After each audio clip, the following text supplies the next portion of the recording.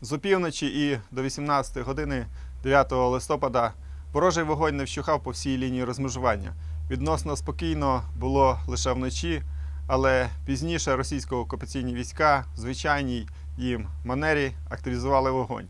В районі проведення антитерористичної операції з боку російсько-окупаційних військ зафіксовано 29 випадків відкриття огню по позиціях сил АТО.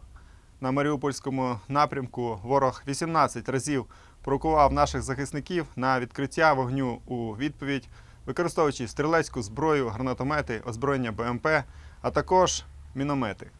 Під обстріл потрапили Павлопіль, Гнутове, Богданівка, Новотроїцьке, Старогнатівка, Широкине, Лебединське та Водяне. В Широкиному, Павлополі та Богданівці працював і снайпер.